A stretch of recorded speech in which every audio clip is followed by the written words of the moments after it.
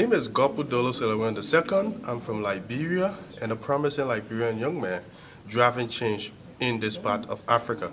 I'm the National Director of Reform Youth Network, a youth group uh, that help young people to make positive decisions about issues that positively shape their destiny. Back in Liberia, what we've been working on is nothing but impacting our nation from our little corners. And Yali have added a value to me to go back to Liberia and add value to my society. I take this time so much to thank the participants I've interacted with. I learned from them so much. I thank Dr. Osei, the director of Yali. I thank President Obama so much and the U.S. government for instituting cell program in West Africa. Nothing is done for me, but if impacted me positively when it comes to leadership. I've now seen leadership from a different perspective, and I've understood the essence of teamwork to work far.